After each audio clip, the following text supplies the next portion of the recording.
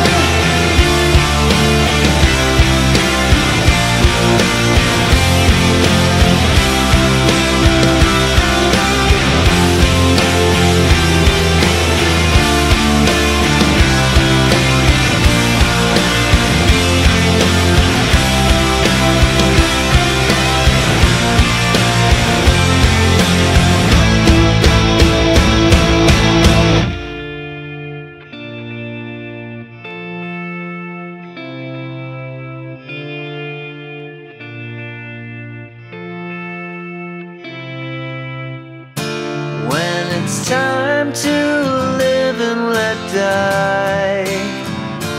And you can't get another try. Something inside this heart has died. You're in ruins. One, twice.